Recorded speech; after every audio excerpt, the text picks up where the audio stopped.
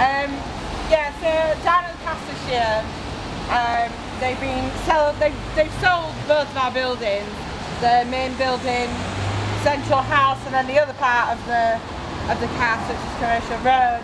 And it's so sad that they're closing these courses because they're courses that so the musical instrument making was the only BSc left in in the UK of its kind. Like they're shutting these courses at London Met that students could be could be getting a great education out of and as we speak there's actually a listing on the internet where they're selling the equipment and the machinery that was in Commercial Road all the machinery that for years and years students have been learning on.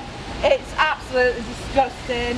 I was devastated when I saw that. This such a waste of resources and it's John Raftery, the Vice Chancellor, scraping around for every bit of money that he can find to pull off this one campus thing that's just a blatant shot at getting his name in the history books. A paying student, to my face, the Vice Chancellor slagged off the Cass staff. He slagged off, they called Mark out of control, this was in December when we just come out of occupation. They called Mark out of control. They slagged off members of staff by name to my face in a meeting with my SU rep. And John Raftery has done a very good job of telling the SU this year that I'm dangerous. And he's told them, he told the Cass SU rep to tell me to shut my mouth. And I won't do that because, eh, like the rest of you, I can't put my head on the pillow at night and say I haven't done anything. I can't believe how blatant this sacking of David and Mark is. I can't believe that this happened, which sounds really stupid, but bear with me because this is the first time I've been in this situation. But I can't believe how blatant it is, and actually the staff can't believe how blatant it is. I can tell you at the Cass, people are absolutely livid.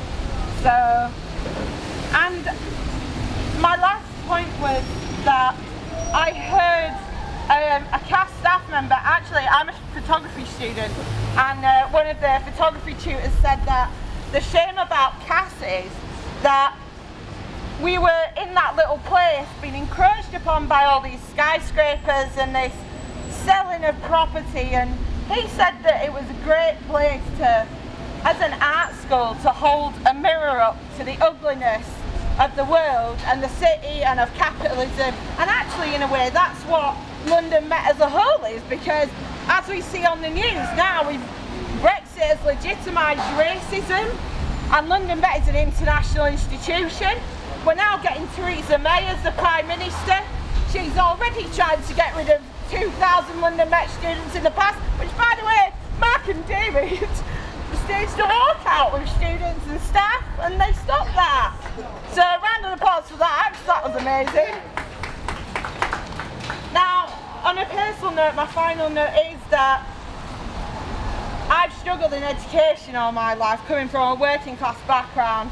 My dad died when I was nine and my mum's had to struggle to get us through. And we're still struggling now, you know, it's expensive going to university.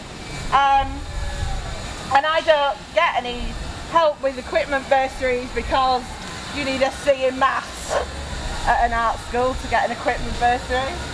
Um, which is something else that I've tried to take management on about because it's something that really affects Cass students. But we struggle all the time and it's because of people like it's because of staff members like Christina at the Cass and David and Mark and Richard and all these staff members that give us guys the confidence. The big difference between these guys in the offices and these guys is that when I talk to management, I get the feeling that they're important and they can make decisions about my future. When I talk to staff like Christina and Mark and David and everybody else, I get the feeling that I'm important and I get to make the decisions about my education. So that's why the staff are so important. That mirror that you hold up to the ugliness of the world that is London Met as well is holding a mirror up, especially right opposite, ironically, student flats are ridiculously expensive, the class divide. And I think that is why London Met needs to be defended and why these guys need to be defended. Because we need to keep that we need to keep that mirror in the next two years and probably in the future nice and shiny and clear so people can look at themselves.